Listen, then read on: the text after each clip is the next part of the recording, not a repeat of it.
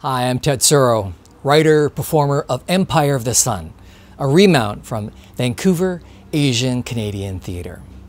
In my whole life, I never had a single conversation with my dad.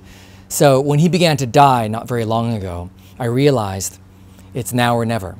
I used to be on CBC radio, so when I interviewed my dad, I used the microphone. And what I learned was that he led this crazy, fascinating life from standing in the ashes of Hiroshima to seeing Marilyn Monroe sing happy birthday to JFK. My dad witnessed history. And if you come to Empire of the Son, so will you. I am so excited about coming to Factory this season because never before in the history of Asian Canadian theatre has the West Coast and the East Coast come together like this. It's like Tupac meeting Biggie for the very first time. So I am very excited.